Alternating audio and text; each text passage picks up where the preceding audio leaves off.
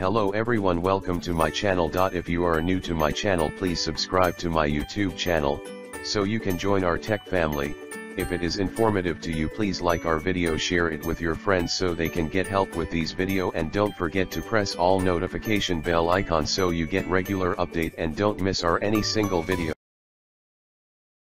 Okay, so you're ready to start launching the attack, right? Well, in order for us to accomplish this, you can use probably one of the most powerful tools out there right now. It's called AirKraken. And AirKraken is not just a uh, simple application. It's a suite of applications that's designed to really target in on the wireless environment. Uh, Dale, when you say a suite, what do you mean by that? Well, there's several different products inside of this particular product, and it's open source. And what's really cool is that it's basically free. It's done through a GNU or a general public license. Now, when we talk about AirKraken, there's several different products within it. One of them being AirBasin. This is designed to go through and capture WPA as well as WPA2 handshakes, and then can act as a ad hoc access point. There's also, of course, AirKraken itself. This is the standard WEP and WPA, WPA2, PSK cracking tool. There's also Air AirDriverine. Yeah, I try to say that one fast. Now, Air AirDriverine is actually deprecated out of the latest version of Air AirKraken, as well as AirDroppin. This this is a program that we can use to issue deauthentication attacks or to break that connection between the client and the access point. There's AirPlan. This is designed to create traffic and fake authentication packets, as well as ARP request injections. There's also EAS siding. This is a nifty little tool that allows you to communicate via web encryption with an access point without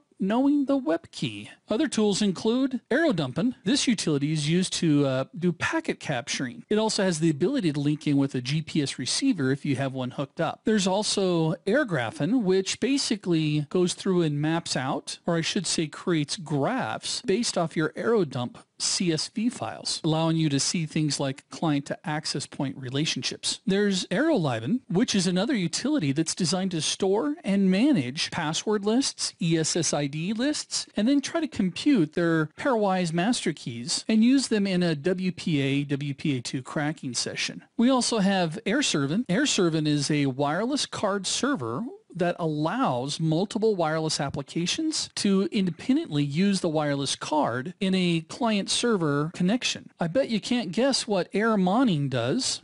Yep, you're right. We use it to enable the wireless NIC card to start monitoring the wireless interface and looking for different access points. Air Tuning is a virtual tunnel interface creator, and it has two different functions.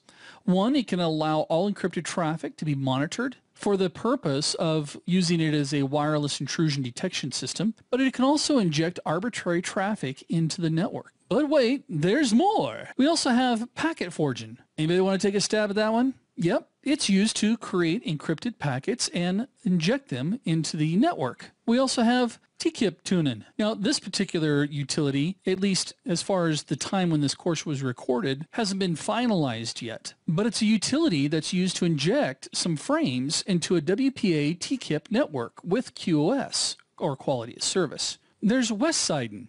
Why do you kids live like there's a war going on? Okay, sorry about that. I stepped into my Broadway musical West Side Story mode there for just a second. well, Westsiding has several different techniques that it can utilize to obtain a web key in just a couple of minutes. And there's web decloaking. Now, there's got to be either a Star Trek reference or a Harry Potter reference here. So this is a utility that actually removes web cloaking from a PCAP file. Some wireless intrusion prevention systems actively try to prevent the cracking of a web key by inserting what we refer to as chafe. Basically, it's a fake web frame. Now, if you're familiar with the military aspect of chafe, it's kind of the same concept.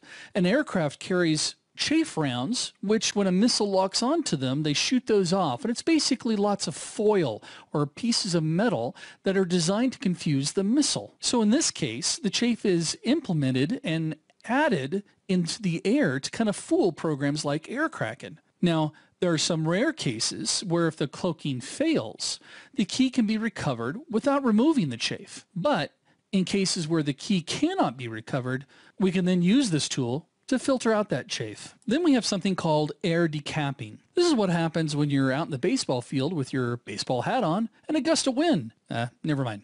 This utility allows you to decrypt WPA2, WPA, and WEP capture files. Now, some of these programs you may never use within the AirKraken suite. I just want you to understand that because it has so many utilities inside of it, you could say it's a suite suite. Eh, you get it? See how I played on that one? We hope you enjoyed the video and found value in the content. We value your feedback. If you have any questions or suggestions feel free to post them in the comments section or contact us directly by our social platforms. Thanks for watching.